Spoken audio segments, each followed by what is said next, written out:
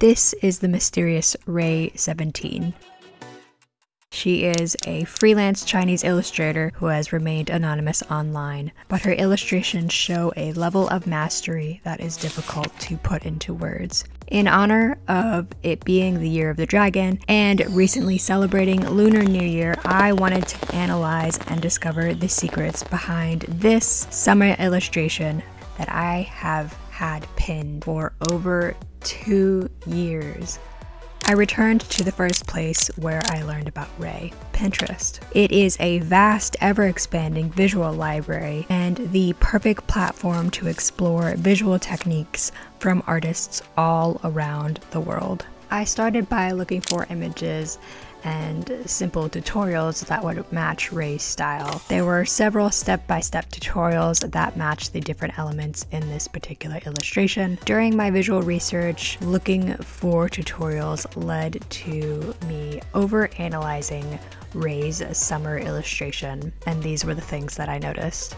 Rei uses bright saturated colors that range from pastels to holographic, which makes an iridescent pearl like consistency among some of her pieces. She also adds a fun and whimsical dream like elements too. As far as her techniques, she uses a lot of gradients to create smooth blending between her colors, and these are evenly distributed in low contrast lighting. Lastly, she uses dynamic compositions with a mastery of anatomy, which altogether makes her work a feast for the eyes. This leads me to even more questions.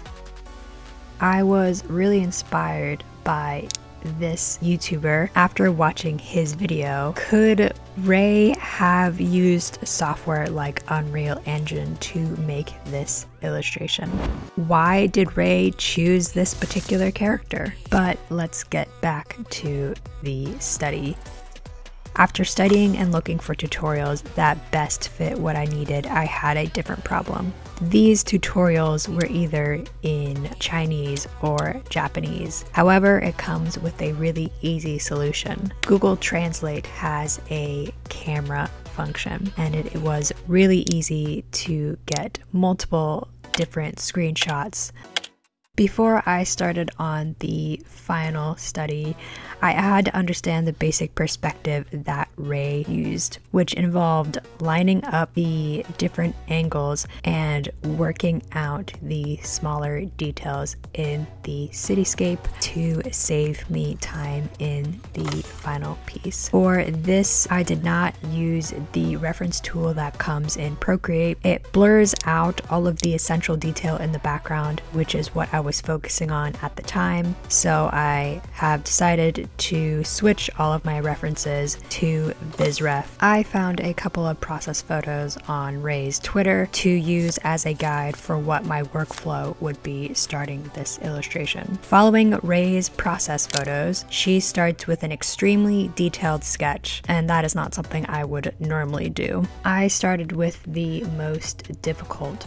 part first the cityscape, then the fish statue, spear, the Grand Order character. In my normal workflows, I usually keep the sketch until I paint over it, but in Rei's workflow, it is an integral part to her illustration. For the sketch of the character, I paid special attention to getting the correct flow and energy of her dynamic movements. I really enjoyed the process of sketching out her hair, loosely following one of my tutorials for this part, I started with flat colors and moved into the details layer by layer. And the reason that I chose this particular tutorial is their use of gradients. It is similar to Rei's workflow. I separated the cityscape by color and distance away from the light source in the foreground, primarily using two blues, then later adding light yellows as the city lights. The lights should have been added after the gradients if I followed the tutorial correctly, but the lights helped guide where I would later place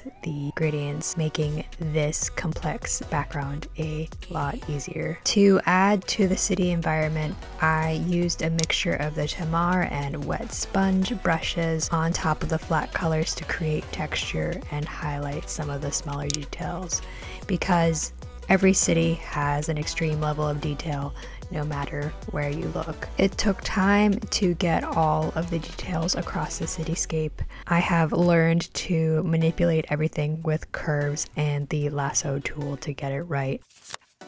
The roof and the fish statue were by far my favorite part of this whole illustration. The entire process for creating these elements was so satisfying. I enjoyed adding the subtle highlights to show the fish existing in that city. At this point, I am 16 hours in.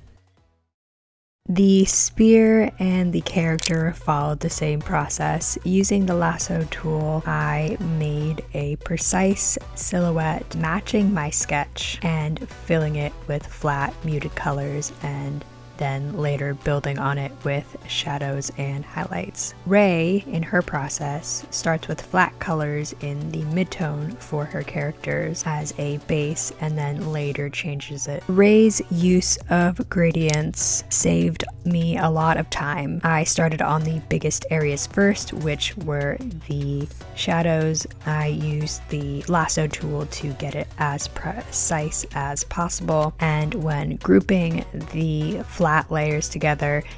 It was the hair, body, and clothes all separated so that small changes to any of these layers would not affect my base silhouette.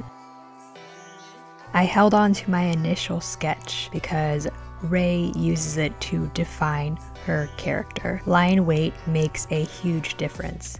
It is subtle, but noticeable. Notice that the line art is just a lighter, more saturated shade of the rest of the character. This makes the whole art pop and it gives it more vibrance rather than just a plain old black colored line art. I'm gonna skip a couple of steps we are finally at the finishing touches. I tried to do fireworks once before back in 2020 and it did not look the best. Get ready for a jump scare from my archives. This is what they looked like. For the fireworks, again, I found a tutorial that I could use that matched Rei's style. I used a marker brush for the finer details using yellow as my base color and I switched it to orange later to match Rei's piece. The final step in this illustration is adding on some subtle details with a watercolor paper texture and this is the final result.